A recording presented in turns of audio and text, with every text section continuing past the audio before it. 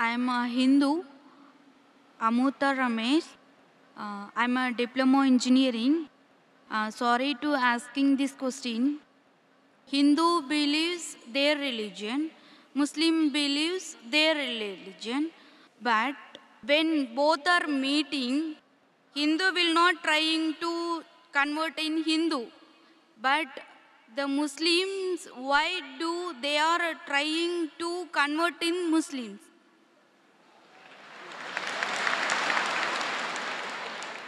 Sister, if I understood your question correctly, when Hindus meet Muslims, they don't try and convert the Muslims to Hinduism, correct?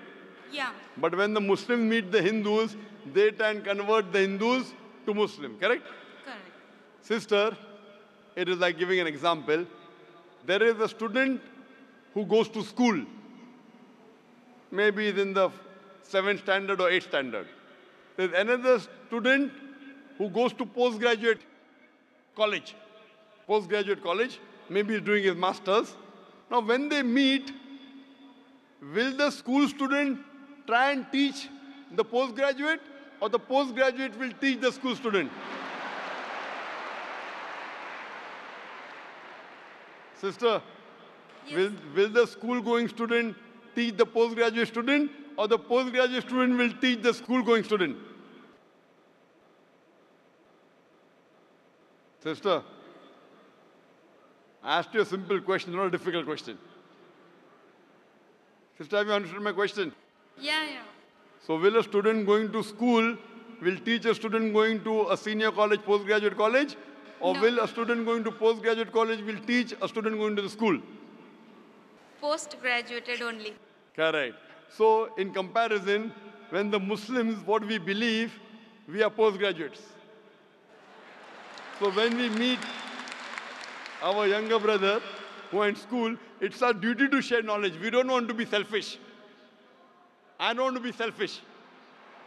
You know, those who are selfish, yeah, the person should not be a graduate. You know, let him suffer. Let him be in school only.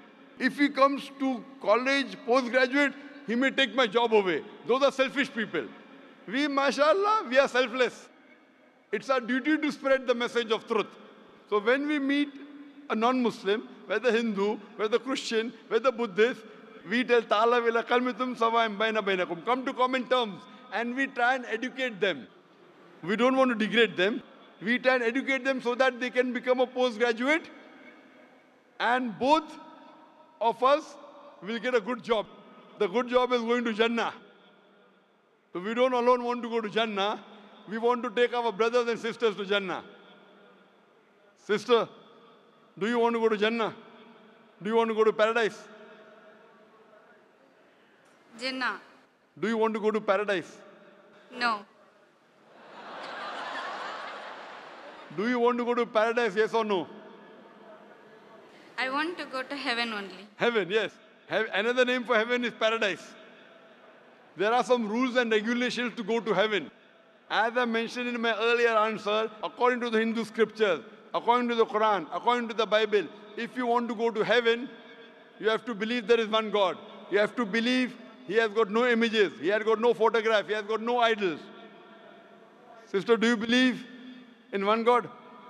Yeah, I believe Hindu only. You believe in Hindu God. Do you believe that God has got idols? No, God is not idol. So do you believe in idol worship? Idol worship, I am believing also. You believe in idol worship. Yes. So if God doesn't have idol, why are you worshipping the idol? Aren't you going against your Hindu scriptures? Your Hindu scripture says in Svetasvatara Upanishad, chapter 4, verse number 19, and Yajurved, chapter 32, verse number 3, Na me asti. Of that God, there is no image, there is no photograph, there is no painting, there is no statue, there is no sculpture, there is no idol. So do you want to follow your Hindu scriptures or you don't want to follow your Hindu scriptures? No, I want to follow my culture only, Hindu only. Culture, not your religion. My religion is Hindu only, I want to follow. But your Hindu religion is based on Vedas. Have you read the Vedas, sister? No. Isn't your duty you have to read the Vedas? When will you read it? Tomorrow? Or tonight? I don't know, I will try. I, I request you, sister, read the Vedas tonight. No, but No, but why you can't read it night? You can read at night, sister, no problem. Veda and Quran you can read day, you can read night, no problem. My request to you, sister, go home, go on the internet, type the references I gave. Yajurved chapter 32, verse number 3, Svetasvatara Upanishad chapter 4, verse number 19. You know, in Kishanganj, I gave a talk in Kishanganj just two weeks back. And it was a three day program. First day, it was a talk. Second day, open question and session only. Third day was talk and question. On second day, and the deadline in India is 10 o'clock on Supreme Court. But when 10 o'clock was over, one intellectual Hindu came and told, you know, Dr. Zakir, what are you trying to do? You're talking about communal harmony, what are you trying to convert, and blah, blah, blah, blah, blah. I believe in, I only believe in Bhagavad Gita, I don't believe in Veda. I wanted to answer him, but the time was up. So I told him, when you come tomorrow, inshallah, I will give you the first chance. The next day, when I gave him the first chance to ask the question, he said, full night, I did research.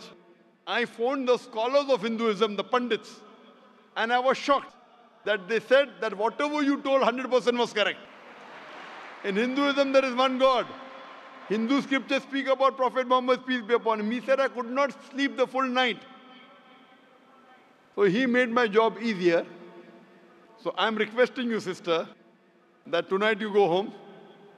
If you don't have any Pandit to ask, you can Google, you know. Sheikh Google, we say sheikh Google. Or Pandit Google, go there, type all the references, try and find out, and tomorrow you can come and ask the question again, sister. My beloved brothers and sisters, this non Muslim lady she asked why the Muslims always give da'wah and they ask people to convert to Islam. The other religion like Hinduism and all other religions they don't call the people of other faith to their religion. Dr. Zakir Naik has beautifully answered the question and Alhamdulillah Prophet Muhammad was sent as the last and final messenger, and there will be no other prophets after him. So, this work of da'wah is now our responsibility. We have to spread this message across the globe. Prophet Muhammad said, "Ballighu anni walau ayah." Spread even if it is a single verse from me. And Allah subhanahu wa ta'ala encouraged the work of da'wah in more than one verse in the Quran. Allah says, "Ud'u ila sabili rabbik bil hikmati wal maw'izati al hasana." Call people towards the path of Allah with wisdom and with beautiful teachings. And Allah subhanahu wa ta'ala also says that the one who calls people towards Allah, he has the best speech. He's amongst the best human being. So we need to call others to accept Islam because we don't want them to be in hellfire. We want them to be in the heaven. We want good for them. So we want them to come to the fold of Islam. My beloved brothers and sisters, we have to answer the misconceptions of the non Muslims. We need to show them the correct path. We need to call them to the path of Allah. We need to call them to the path of peace. And if anyone accepts Islam through your da'wah, Allah subhanahu wa ta'ala will reward you abundantly.